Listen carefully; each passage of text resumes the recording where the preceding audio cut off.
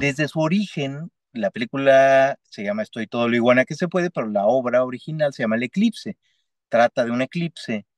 Eh, y entonces ya desde la palabra, desde saber que todo ocurre en un día de eclipse, ya desde ahí te plantea ciertos retos de cómo contar esto que no parezca teatro, ¿no? Eh, ¿Por qué? Porque no estamos haciendo teatro, yo trabajo en un teatro, yo también hago obras teatrales y no quería que esto fuera teatro, ¿no? Entonces, ¿cómo llevarlo a un ámbito cinematográfico? Pues eso sí fue un gran reto, fue un gran reto, sobre todo en el eclipse. Por ejemplo, te pongo una anécdota que era interesante, ¿no? Que eh, mucha gente creía, decía, bueno, pues le ponemos ahí el, el, pegote, ahí el, el eclipse tal cual. Y yo decía, es que el problema del eclipse es la luz, no es el eclipse. El, la corona solar, digamos, el sol con la luna, eso es lo de menos. El problema es cómo se afecta la luz radicalmente conforme avanza la película. Entonces ahí hay, por ejemplo, dos cosas muy interesantes técnicas que hicimos. Una es filmar al revés. Como nosotros estábamos en el Pacífico, donde el sol se pone y no nace, empezábamos a filmar las, las escenas posteriores en la mañana. Y entonces las escenas que se parecían más a cuando está a punto de, caer el sol, las filmamos al revés. Y el término del eclipse, esto te lo, te lo podrían también corroborar todos los actores, corríamos porque todo el eclipse, que en esta película dura yo creo que un poco de más de 10 minutos, los, hacía, los hacíamos en hora mágica.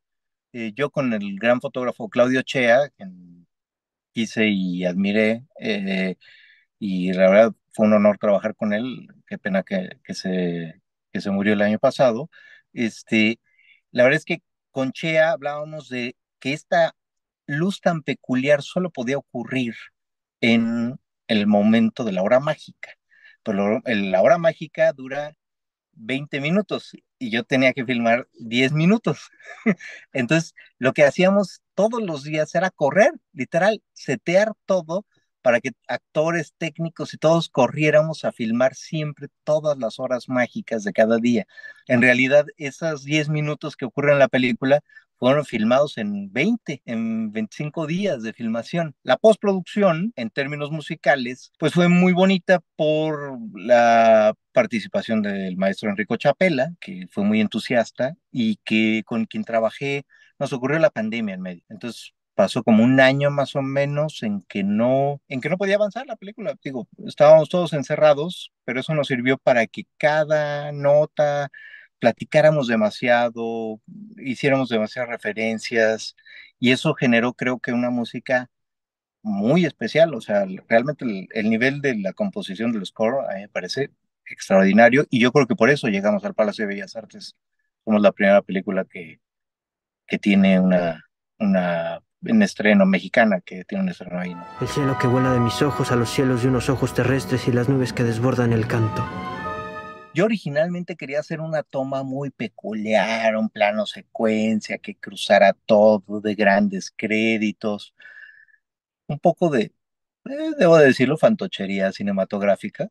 Y cuando estaba ahí dije, no, no, no, no, es la gente, es el lugar el que debe de contarse nada más. Simplemente traté de que la luz contara lo que tenía que contar de ese amanecer y ya, sin imponerme, porque dije, no puedo yo con una idea cinematográfica cambiar la realidad. O sea, el cine no la transforma tanto, la transforma, pero no la transforma tanto. Y decidí, por ejemplo, que diario nos fuéramos todas las mañanas, a las madrugadas, a, a filmar y a ver qué material encontrábamos y que, y que se contara el lugar a través de nosotros, nada más. Este cambio de decisión de intentar algo radical al dejar que se cuente solo, digo, es un asunto donde me acabó ganando, ¿no? El mundo, digo, yo qué puedo, tener yo cualquier plano secuencia o algo, es nimio al lado de lo que, de lo que vemos acá, ¿no?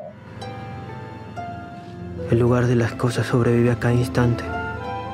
Hay una cosa en peculiar, por ejemplo, que estamos intentando y que yo creo que se va a poder lograr y que tiene que ver con todo lo que hemos platicado en esta entrevista, es hacer una función especial en la zona donde se filmó.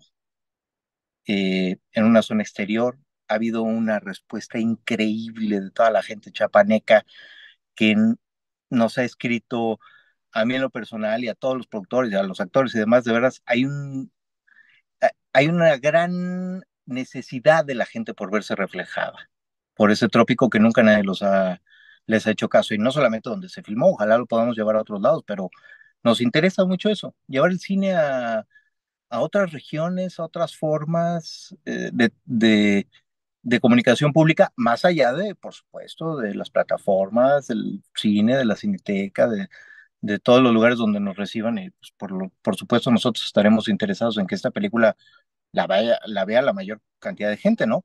Pero sí queremos hacer como cosas diferentes, ¿no? O sea, ya ocurrió en Bellas Artes, ¿por qué no hacer otro gran estreno en un lugar mágico y especial donde llegue toda la gente a verlo? Y, creo, y estoy que seguro que va a ocurrir muy pronto.